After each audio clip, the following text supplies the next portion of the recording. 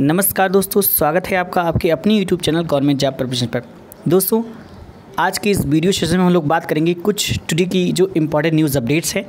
यहाँ पर कुछ इंपॉर्टेंट न्यूज़ के बारे में हम लोग बात करेंगे जो हमारे एक प्रकार से एम्प्लॉयमेंट न्यूज़ हैं। तो देख लेते हैं कुछ इंपॉर्टेंट न्यूज़ आज की। तो ये वीडियो सीरीज़ मैंने आज से स्टार्ट की है और दोस्तों, अगर आपको वीडियो सीरीज़ पसंद आए तो ज़रूर लाइक करिएगा और हमारे चैनल को सब्सक्राइब करिएगा। डेली आपको इसी तरह के एम्प्लॉयमेंट न्यूज़ आपको मिलती रहेंगी। तो चलिए देख लेते हैं आज की एक दो कुछ इंपॉर्टेंट न्यूज़ क्या हैं। तो पहले दोस्तों, जो न्यूज़ आज की इंपॉर्टेंट न्यूज़ यहाँ पर निकल कर आ रही है तो ये आपका निकल कर आ रही है, जो दस हज़ार सात सौ अड़सठ आपकी एल टी गेट शिक्षक की जो परीक्षा हुई थी उनतीस जुलाई को तो उसके यहाँ पर रिज़ल्ट के बारे में बात की जा रही है और नियुक्ति पत्र के बारे में बात की जा रही है। और यहाँ पर बताया जा रहा है कि इसी माह के अंत में या आपको नवंबर माह के, इसी माह के अंत में आपको जुलाई तक आपको यहाँ पर रिज़ल्ट इसका दे दिया जाएगा। तो यहाँ पर देख लेते हैं, पूरी न्यूज़ यहाँ पर क्या है, चलिए पढ़ लेते हैं, क्या है न्यूज़ आर्टिकल। तो देखिए दोस्तों, यहाँ पर बताया गया कि वेबसाइट से मिलेंगे एल टी गेट शिक्षकों को नियुक्ति पत्र। राजकीय माध्यमिक कॉलेजों को दस हज़ार सात सौ अड़सठ एल टी गेट शिक्षक अगले माह मिलने की यहाँ पर उम्मीद है। ठीक है, उत्तर प्रदेश लोक सेवा आयोग यानी कि यूपीपीएससी में मूल्यांकन कार्य लगभग पूरा हो गया है। रिज़ल्ट इसी माह के अंत तक या फिर दिवाली के आसपास घोषित होने के संकेत हैं। जी हाँ यहाँ पर देखिए, बताया गया है कि रिज़ल्ट के इसी माह या दिवाली के अंत तक घोषित होने के संकेत यहाँ पर मिल रहे हैं। चयनित शिक्षकों को पारदर्शी तरीके से नियुक्ति देने के लिए माध्यमिक शिक्षा विभाग में पहले ही तैयारियाँ चल रही हैं।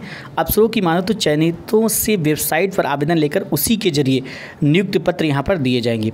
प्रवेश के राजकीय माध्यमिक कॉलेजों में एलटी ग्रेड शिक्षकों के पद बड़ी संख्या में लंबे समय से खाली हैं। माध्यमिक शिक्षा विभाग ने इन शिक्षकों का चयन बेहतर तरीके से हो, इसीलिए पहली बार यूपीपीएससी को लिखित परीक्षा कराने की ज़िम्मेदारी यहाँ पर सौंपी गई है। यूपीपीएससी ने यहाँ पर, जैसा कि आप लोगों को पता है कि 29 जुलाई को विभिन्न जिलों में इसका इम्तिहान कराया था। परीक्षार्थियों ने परीक्षा पर तमाम आरोप ज़रूर लगाए और कई प्रकरणों को हाईकोर्ट तक चुनौती दी गई। इधर शासन के निर्देश पर यूपी पीएससी ओएमआर सीट का तेज़ी से मूल्यांकन करा रहा था। यह कार्य अब लगभग पूरा हो गया है। उत्तर प्रदेश लोक सेवा आयोग ने परिणाम यहाँ पर देने की तारीख का अभी औपचारिक ऐलान नहीं किया है, लेकिन सचिव जगदीश का कहना है कि रिज़ल्ट इसी माह के अंत या फिर दिवाली के आसपास देने की तैयारी यहाँ पर चल रही है। माध्यमिक शिक्षा विभाग ने इस बार राजकीय शिक्षकों का ऑनलाइन तबादला कराया था। यह प्रयोग कारगर रहने के पर एल गेट शिक्षकों की नियुक्ति के लिए भी अफसर वेबसाइट तैयार करने में जुटे हैं। तो दोस्तों, ये थी आज की यहाँ पर पहली न्यूज़ जो कि एल टी गेट शिक्षकों से संबंधित थी, जो दस हज़ार सात सौ अड़सठ पोस्ट थी। उनकी जो परीक्षा हुई थी उनतीस जुलाई को तो उसका रिज़ल्ट की यहाँ पर बात की गई थी। अगली जो इंपॉर्टेंट न्यूज़ यहाँ पर देख लेते हैं तो ये न्यूज़ आपकी निकल कर आ रही है अड़सठ हज़ार पाँच सौ सहायक अध्यापक भर्ती की लिखित परीक्षा से संबंधित। तो देखिए, लिख लेते हैं, ये न्यूज़ यहाँ पर क्या है? तो यहाँ पर पुनर्मूल्यांकन की वेबसाइट तैयार कल से होंगे आवेदन। देखिए दोस्तों, यहाँ पर पुनर्मूल्यांकन की वेबसाइट तैयार कर दी गई है और कल से इसमें आवेदन किए जाने की यहाँ पर बात की जा रही है। तो परिषदीय स्कूलों में अड़सठ सहायक अध्यापक भर्ती की लिखित परीक्षा की उत्तर पुस्तिकाओं के मूल्यांकन के लिए वेबसाइट तैयार हो गई है।